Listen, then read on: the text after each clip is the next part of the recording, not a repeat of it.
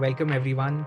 I'm excited to introduce Hari Krishnan, founder and CEO of Polarizer Technologies and co creator of Specmatic and Perfiz. Hari advises organizations on transformation and coaches developers, project managers, and engineering leaders. Today, he'll present a case study on UI component workflow testing, validating entire user journeys by isolating front ends using OpenAPI. Thanks a lot, Siddhant, for the kind words of introduction. Let me quickly share my screen. So welcome everyone to this uh, session about component workflow testing, uh, validating your entire user journeys using API specifications uh, for intelligent service virtualization. My name is Hari Krishnan. Um, I am an enthusiast in the conferences space. I speak at a lot of conferences and I also like to volunteer at them. I'm again honored to be a part of the Appium conference here.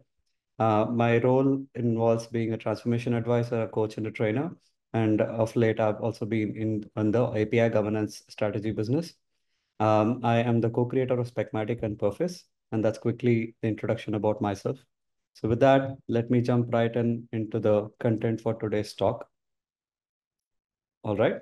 So let's say we are building a mobile application. We usually would have a backend for front end to you know, uh, aggregate all the responses from our domain services. And uh, maybe there is a storage involved, there are multiple databases and whatnot. This is a simplified version of what even a small mobile application would involve, right? And this itself is the backend for the application that we are talking about, right? But that's our own backend that we control. But that apart, there would be external dependencies, third-party integrations, such as your SMS gateways, email, uh, servers and payment aggregators and the likes, which we have to go through. And obviously, our backend itself will have to speak with those external dependencies. And our own application, the mobile app also will have out-of-band communication with these external dependencies in order to, uh, you know, complete functionalities. Now this, even though it fits in my screen while looks small enough, this itself is fairly complicated in order to uh, test it all at once. But any realistic company and the type of case study that we're going to talk about today, which is MyJio, which is more like a super app. And that is not going to be anything close to this level of triviality, right? It's going to be a lot more complex. Now, how do we go about dealing with that kind of complexity? Let me add one more curveball to this. If I'm building this sort of an application, for the most part, the feature may not be available in its completeness across all the components let's say most of this is under construction or some of this is under construction. I cannot verify or test features uh, by themselves. Just if I'm, if I cannot even start building these features, so to speak, right? And I cannot say that uh, the domain service team will finish and then the BFF team will start and then they'll finish and make their service available to me. Then I'll start building my application. And in between, someone might say the third party, we have not secured Uh, the licenses or the procurement for that. So that's not done yet. So that's going to take some time. Their sandboxes are not ready, or maybe they may be down. Now, all of these pieces might play, and I cannot potentially sit saying, you know, my application is I cannot something I can build until these pieces are available. I need to move forward. And this happens to be my system under test for today's case study. I need to test this. So neither do I have like, you know, ability to build the application at this point, let alone like, you know, talk about testing. And today's stage is that, you know, we want to move in parallel, right? We want independent parallel development and ability to deploy with confidence each of these pieces. And if I'm particularly an app development team and I'm focused on the mobile, I want to be able to make progress independent of my other dependencies. Now, what's the usual answer? Any, uh, you know, uh, anyone in the audience, if you could put that in the chat, that'd be great. What would be your uh, typical way to sort out this kind of a situation? Can you put that down in the chat, please? Excellent. I already see someone saying mock APIs. Thanks. Ibtisam.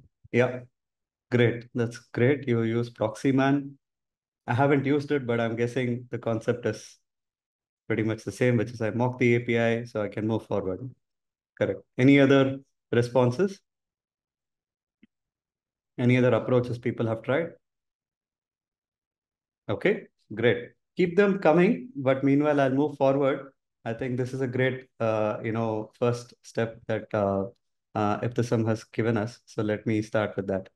Okay, so now the service dependency is not available. And like a friend rightly said, I would put a service mock or an API mock in place and move forward, right? This is a very, very acceptable, uh, you know, way to move forward. And many companies that I've worked with, and I personally uh, have also done this in the past. But there's a major difficulty with this approach, right? Let's say I put the service mock together with my current knowledge of what the backend uh, is behaving like. However, let's say that service has evolved to an API version 2, correct? And they either they have not informed me of that evolution or I may have missed that evolution and the mock that I put together, hand rolled it. Let's say I have used, let's say WireMock or the likes tools like those, right? Where I have like, you know, started up the mock server with some canned responses that to the best of my understanding how the API will behave, I put it together. Now, the difficulty with this approach is when the service is evolving, uh, obviously I'm not aware of it and I constantly need to uh, do an upkeep of that, uh, uh you know, API mock. Otherwise, this service mock that I have hand rolled is not going to be representative of the actual behavior of the real service.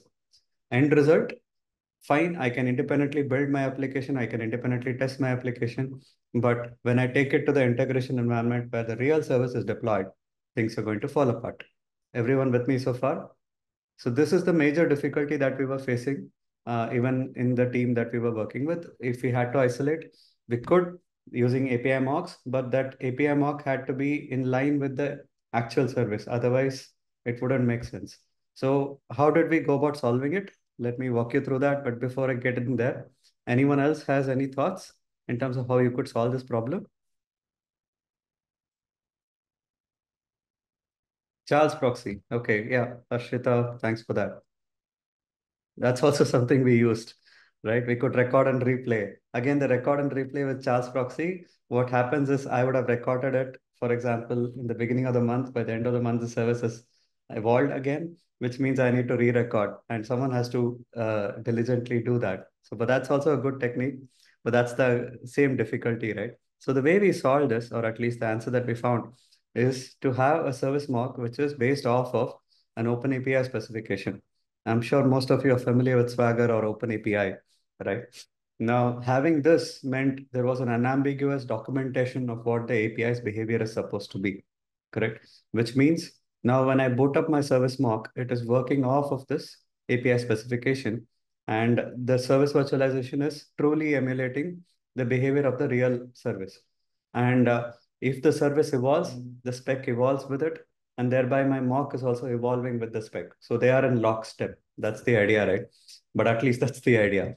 Now, if I start doing this only on my side, it doesn't make sense because for this equation to be complete and to make sure that uh, you know, the provider team or the service backend team is also keeping their side of the promise that the API specification that they're sharing with me is indeed the true representation of what their application behavior is, right? Otherwise, I will be going off of this truth, and building my mock, and my mock is going to fall apart. That's not useful. So that's where their service itself could run the same specification as a contract test, thereby making sure the, they are keeping themselves honest right? Uh, to the fact that the specification that, are, that they're handing out to consumer teams like myself who is building the mobile app, uh, they are indeed helping us with uh, the right sort of specification. So this way we are keeping both these uh, you know, pieces, the service mock and the service in lockstep, right? So that's the in, in immediate intervention that helped with this particular case in isolating it and isolating it with a truly emulative mock. Now let's talk about the next step here. How does the service mock work, which is based off of API specification? First of all, any expectation that you drop into a mock, like, like say the Charles proxy or a mock or for that matter, any mock service will take a canned response, right? Which is a request and a response. And given this request, you give me back this response. That's the behavior of any mock server. Now, what a service mock, which is based off of an API spec should do, ideally, is the fact that it validates your expectation or the canned response against the API specification. And if it only matches, then it should accept it. So for example, if the Appium test that I'm writing is trying to set an expectation with the mock server ahead of its interaction with the application.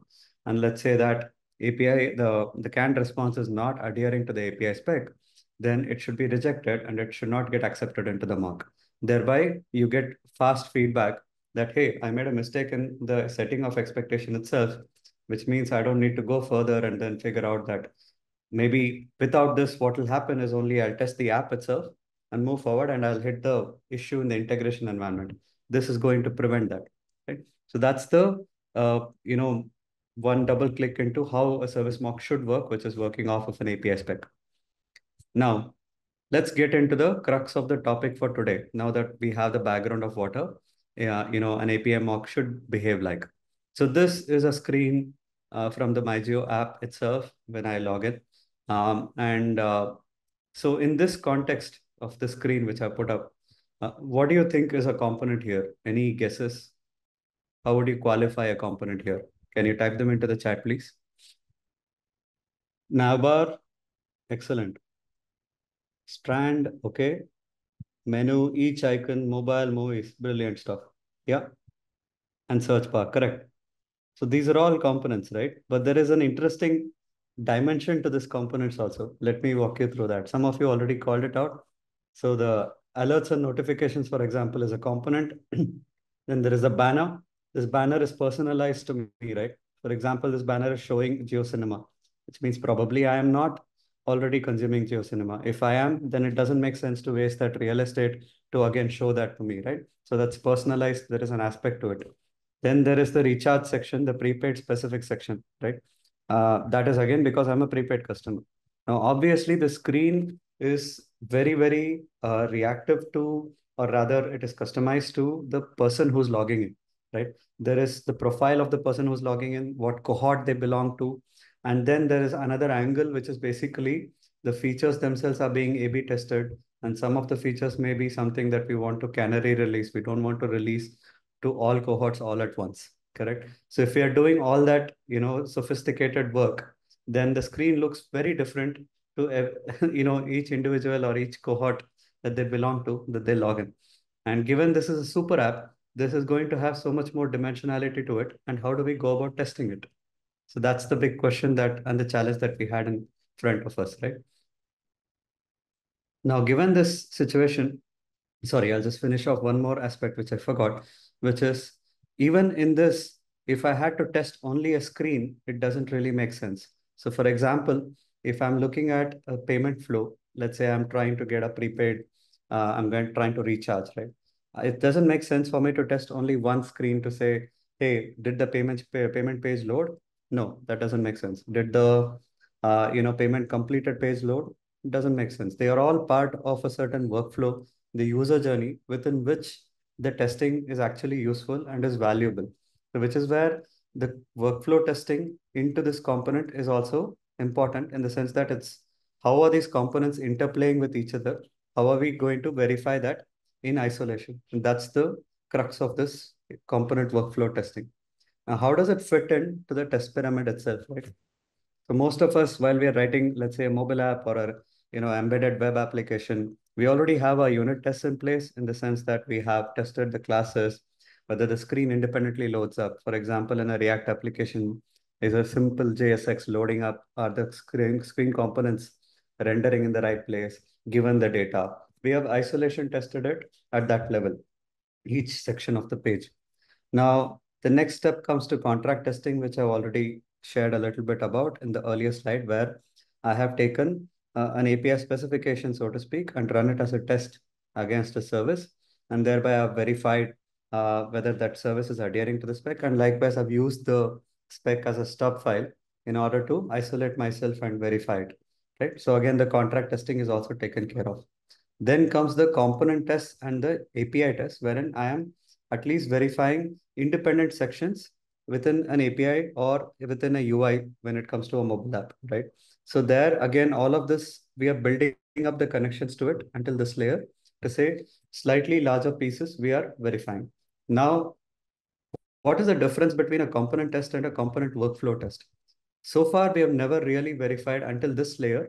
We have not verified any journeys or any uh, you know multiple step process. Only when we come to the component workflow test are we going through the entire journey, which I believe is a very, very high value test and extremely important to identify if our journeys are intact, because that is what gives us confidence to move to higher environments and also in general to be able to push features uh, and uh, help improve the time to market. So that's the difference, key difference, which is until the component testing, we have only tested independent pieces and sections, verifying the interplay between multiple components, verifying across multiple screens, and the journey is the crux of a component workflow test. Okay, so now that I've spoken about where it fits into your test pyramid and what is the rough percentage that it should occupy in your overall test profile, let's look at what are the challenges. Now, for uh, argument's sake, let's assume we have the good fortune of the entire architecture being available to us, deployed in its full glory, and we can go about testing it, right? Now, what are the first uh, issues that we will see? First, obviously deploying the universe itself, right? I have to deploy my services, make sure I have provisioned the sandboxes of my, you know, uh, third-party vendors, and all the connectivity is in place, all the teams are aligned, everything, all the particular drops that have to happen to each particular section have been done. Deploying this universe is not easy and repeating this process is not uh, pain-free and it's going to be extremely time consuming. And if you're going to verify multiple journeys every day, this is not going to scale. Second is the test data management, considering the complexity that I already shared with you in terms of the crisscross of what can happen in terms of the cohorts at play and the features that we have to build and the user profile and which user sees what. The trying to put that matrix into the DB, making sure all the test data exists for it is a nightmare. And maybe you will even do that, but then handling the residual data from that is not a joke. It is it is a tremendous amount of effort, right? Thirdly, there may be even if you handle that, there are time-bound transactions. Certain times you have a TOTP, a time-bound OTP, or you have like certain uh, you know offers which are alive until certain date, and I create the offer. I have to make sure it is uh, you know uh, at least alive until the duration of the test, and maybe it has to be post-dated or past-dated. All those difficulties also creep up. And simulating all of that at multiple levels, this orchestration is not is not simply possible given the nature of the MyJio app because it is extremely, extremely complex and it has the, uh, you know, there is that much functionality to it. That's, that's the main crux there. Then comes the nature of your third party itself. They may offer sandboxes, but they're going to be rate limited, right?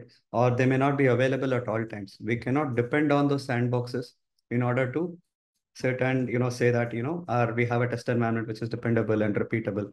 All of this leads to an overall fragility factor, which makes it almost impossible to, uh, you know, uh, look at your workflow tests at a lower environment, right?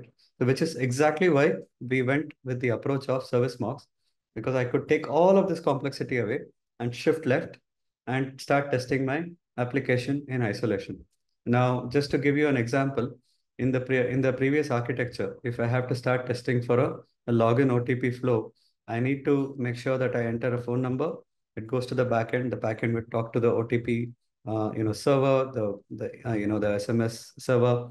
The server will then send that SMS to me, which means that device should have an IMEI number plus a, a SIM uh, module on it. Only then can I get the SMS, and then I have to, you know, enter it and move forward. Sometimes there are delays with SMS delivery, all of that, and forget about even testing it in an emulator, right? Because you cannot have uh, SMS is delivered to an emulator. So even if you say that it's possible to test it with a lot of effort, there are scenarios like this where it's it's not technically feasible for you to do that because of you know such cases. So how did we go about testing this? Very straightforward. I have my service mock where I already set up my request response, uh, you know, a file, the canned response to deliver the initial response for the home screen or the login screen. Once the login screen came in, I enter my phone number. The phone number has to go to the mock server. Again, the mock server already has a canned response. Given this phone number, assume it's a actual phone number and say it's uh, send him to the next screen, right? We go to the OTP screen because it's a mock. I already know I can hard code the mock uh, OTP to a certain number, right? For this phone number, I don't need to depend on a third party or you know have to depend on having a SIM I can directly have the SMS, you know, assume that the SMS is such and such and move forward. And thereby I have the freedom to move forward with an emulator.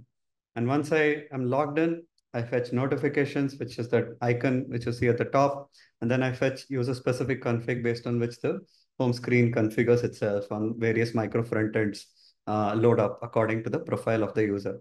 Now, all of these expectations, which we call expectations or examples, the beauty of it is it's being verified against the OpenAPI specification of the backend.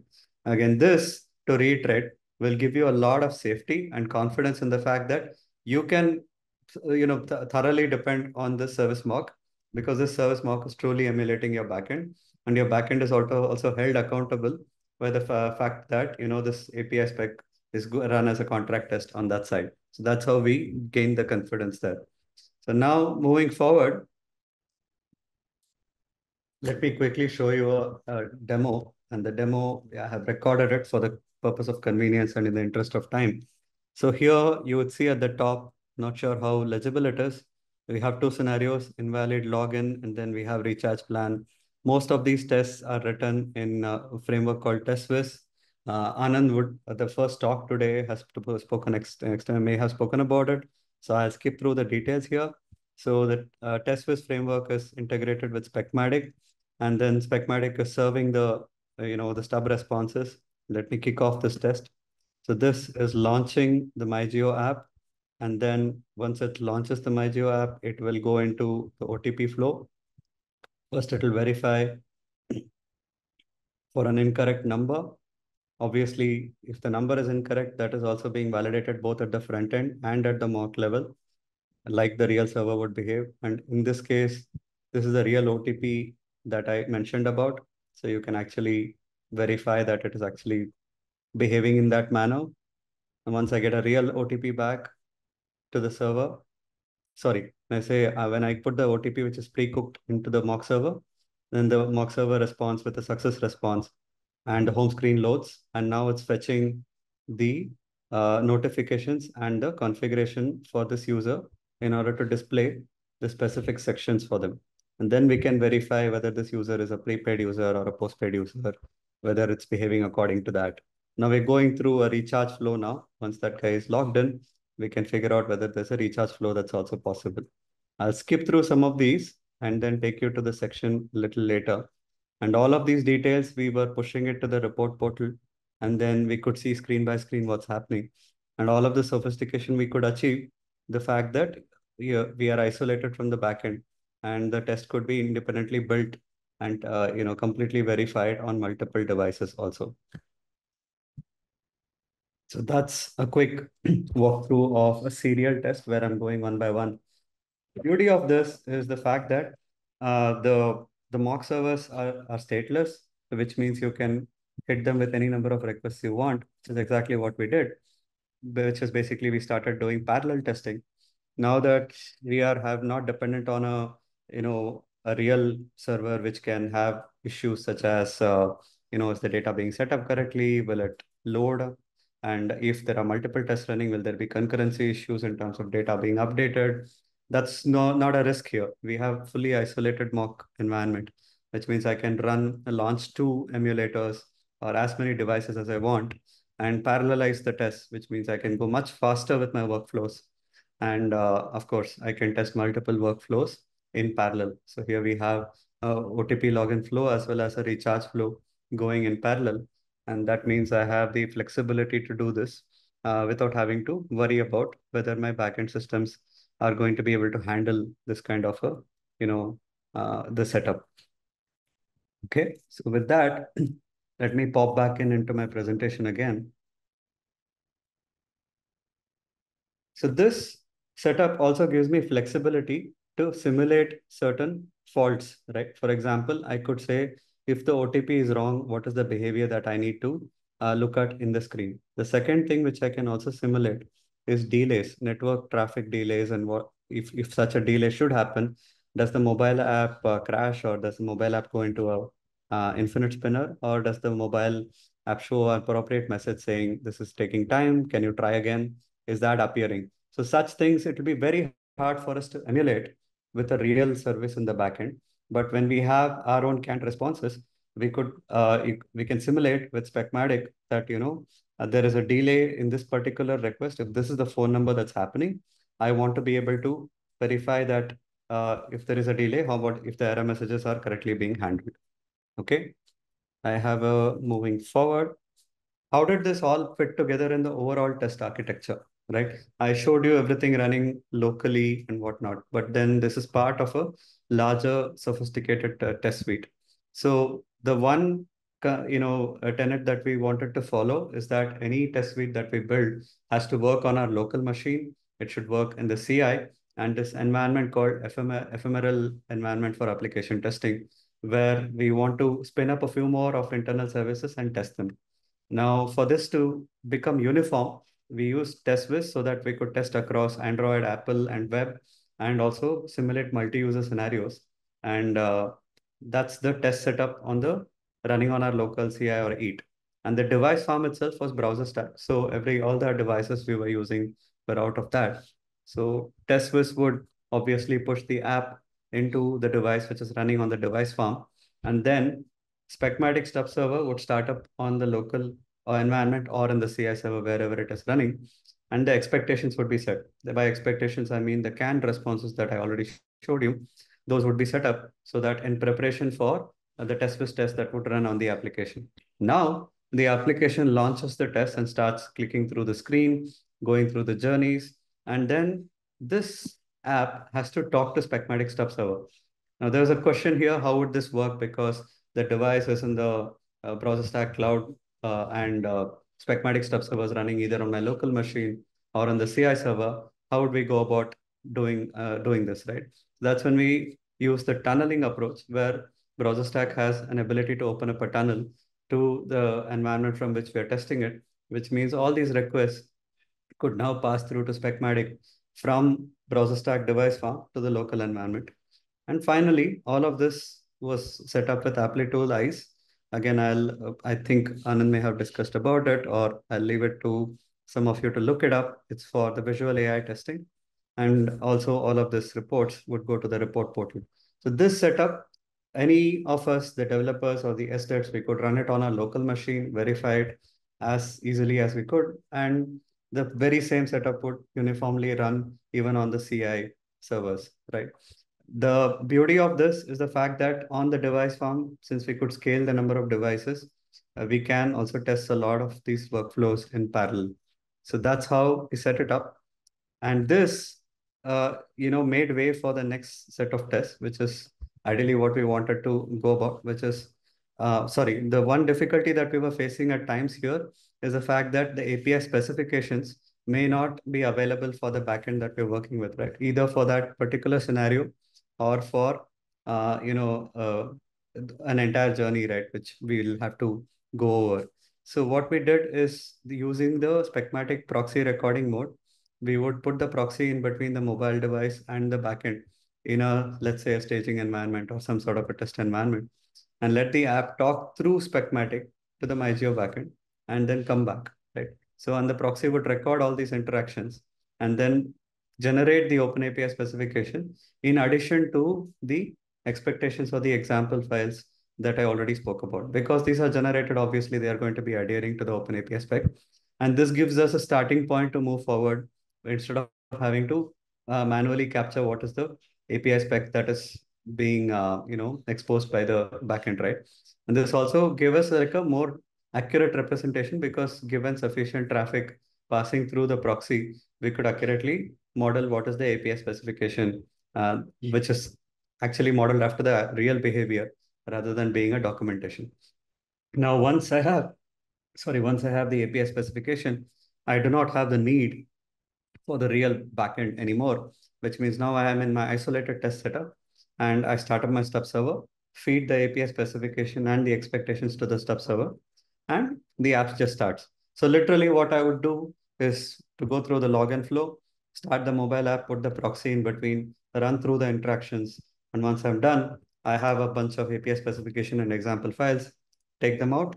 I don't need to talk to the, uh, you know, the server anymore. In fact, the way we would test it is you'd completely get off the VPN, completely get off the network, and then we could isolate and test it on a local machine with the stub server. And that's the beauty of it, which means now these open API specifications and expectations could be shared across the team and each team member had the ability to, uh, you know, independently start the app and test it. This proved to be a very big productivity boost for the front end because the mobile app now is not, you know, tied to the fact that something is available in a staging environment or in a higher environment, which they have to uh, depend on. Ultimately, it's not just the story of the local and CI, right? In the local and CI environment, we simply run the Teswiz test suite, verify across Android, Apple, uh, you know, web and the various plethora of environments across the, you know, various combinations. And here we could just do with uh, stubbing out MyJio backend itself and complete. But this paved way, uh, this setup paved way for the fact that once I'm done testing the mobile app in its isolation, it also gives me the opportunity to test my internal backend, right? So this is an environment for application testing or ephemeral environment for application testing. Here, I do the same test suite. It's reusable, right? It's completely, uh, you know, it's oblivious to the fact that what's running there. And my, my Jio app is pretty much remaining the same. And here I run my own backend and I let that completely work because uh, I want to verify if my app is integrated with my MyJio backend. And this time around, external dependencies, I stub them out with Specmatic. So that way, the test that we wrote early on to make sure we can verify workflows for the app in isolation now scaled to the point where I could say that my external dependencies are still going to be having those kind of difficulties, right? I cannot depend on always testing with the real fellow. So there, uh, we said we'll test the front end against our own backend, but the external dependencies will stub it out. Again, the same technique, rinse and repeat, where API specifications are available, great, reuse them. Where they're not available, we could always record them with a proxy and move forward. So this is the approach that we uh, used to go about getting this tested. And uh, that was the entire journey uh, in terms of how we achieved the uh, workflow component, UI uh, component workflow testing by stubbing out the backend based on API specifications. Now I'll stop there and I'm happy to take questions now. Yeah, so we have a couple of questions. I think first we can start with someone anonymous. Uh, this is like only common functionality can be tested with uh, this mock services. Am I correct? For anything that is new, we have to wait for development and then only we can test. Uh, for common services, I'm trying to look up the Q&A. One second. Anonymous. This is like only common functionality can be tested with mock services. Am I correct? For anything new, no, in fact, it is the opposite, right? For anything new is where you have uh, like, you know, you can obviously test the common services already built. You can isolate and test. But for, for anything new, if the backend is not ready and you want to start building the front end and you want to start testing the front end, that is where it's even more useful because the front end and the backend can agree on an API specification and capture their agreement on the open API spec itself that this is how the API is going to behave. These are the methods. These are the operations. These are the schema of the responses. Once I have that in place, I can independently move forward. I'll start setting up my own test data and the test data is always going to be validated against the spec. So I can start, uh, you know, building out my front end based on the API specification and move ahead. And likewise, in parallel, the backend team can also start using that API specification as an acceptance criteria for building out their backend.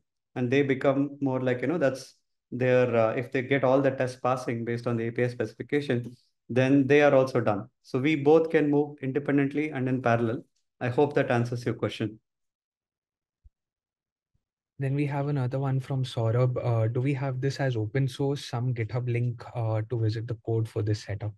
Certainly. So Specmatic is available as an open source project. I will just paste that link in the chat. You can also look it up yourself and uh, Yeah, I'm pasting the GitHub project link in the chat. Right. Then we have another one from Ibtisam. Uh, for device to talk to Specmatic local server, did you just use BrowserStack tunneling or you had to uh, made, make some changes in your app code as well? Very good question. Very good question. So in the apps, usually what we do is we have multiple profiles.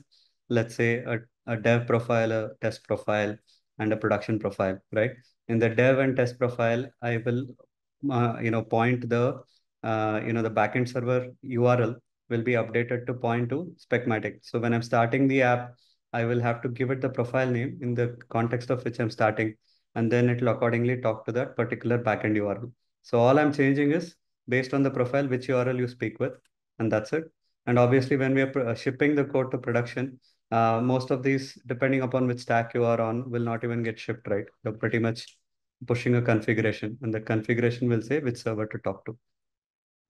So there is no code change, so to speak. It's a config change. Follow-up question from him. So uh, does this service mock mean that you mocked the entire backend or only partial requests were mocked for your backend? Uh, so like I said, there are two use cases, right? One is the entire backend was uh, mocked for the UI component workflow testing in the lower environments like my lo local or in the CI, right? But then when I'm trying to test this application in my ephemeral environment for application testing, in the where I have my own backend, so the uh, my own backend uh, is is still the real service that's working, but then any third-party services are mocked with Specmatic. So ultimately, the principles and concept of how you mock a service remain a constant. Uh, the context in which you're using it decides what you want to mock. So if I'm wanting to isolate only the app and test it, then obviously I'll completely mock out all the entire backend. But if I'm maybe in a different setup where I have confidence in a certain service and control over certain service, and I do want to include it as part of my system under test, then that would not be mocked. Everything else uh, would be mocked. So the question comes down to what, how are you defining the boundary of your system under test?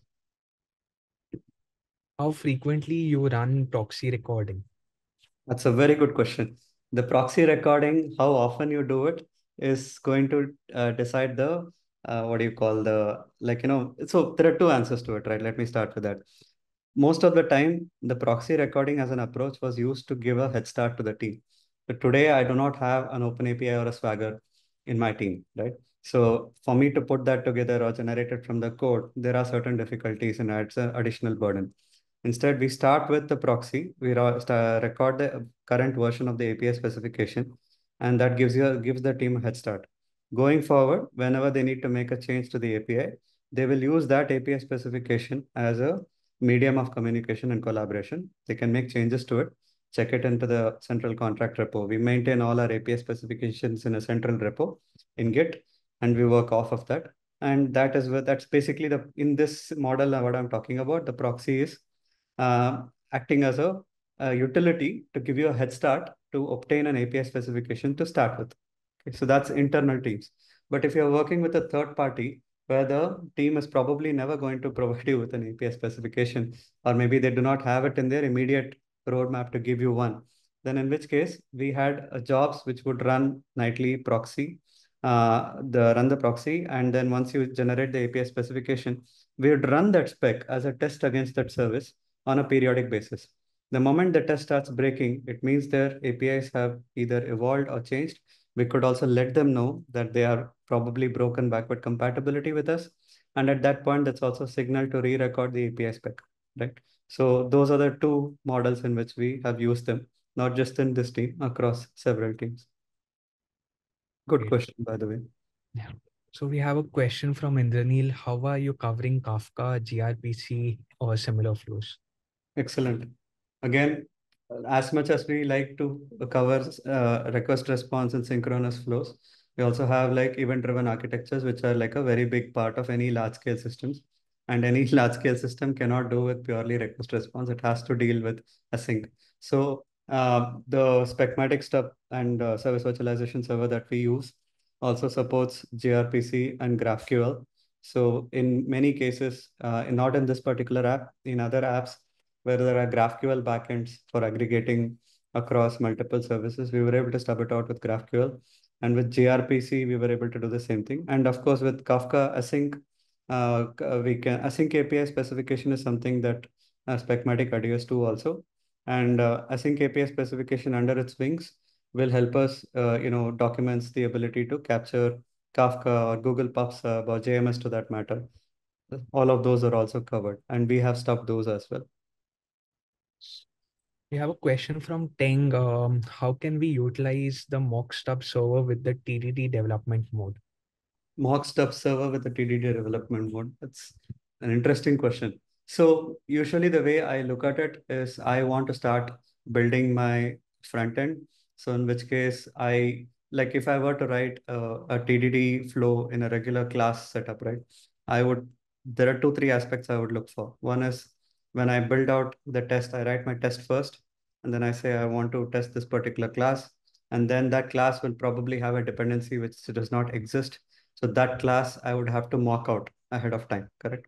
Using some mocking framework like Mockito or Unmock or based on the flavor on the language that you're using, right?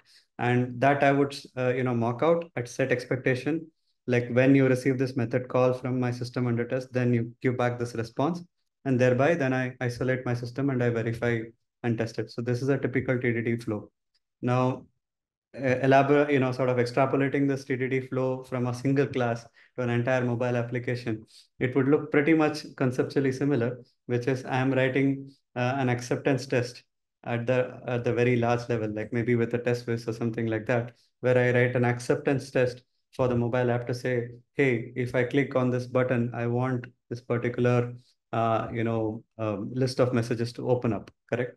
And for this to happen, the dependency backend service needs to return, uh, you know, a list of messages, correct? So, but that service doesn't exist yet. So what do I do? I use a, a Specmatic mock, which is a service virtualization, which is a wire compatible service virtualization. So from my Teswiz, I would set expectation that when this request comes to you, give me back this response. So technically speaking, even without the backend, I can test drive the development of my front end. So this is one part of the answer. Now in doing so, uh, I have an API specification for the backend, right? Now that API specification itself becomes a contract test. And that's the beauty of it. For the backend team, I can hand this API specification to them. And they also have a test-driven development workflow by virtue of running the same spec with Specmatic as a contract test on the backend. And they have free tests to leverage. And that gives them the ability to do TDD workflow on their side also. It's a very interesting question. I hope I answered to the best of what I could.